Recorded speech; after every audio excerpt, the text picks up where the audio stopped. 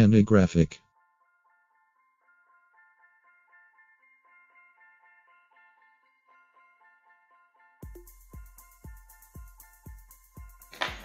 Hello friends मैं हूँ अनिल और आप सभी का स्वागत है एनीग्राफिक हिंदी ट्यूटोरियल पे।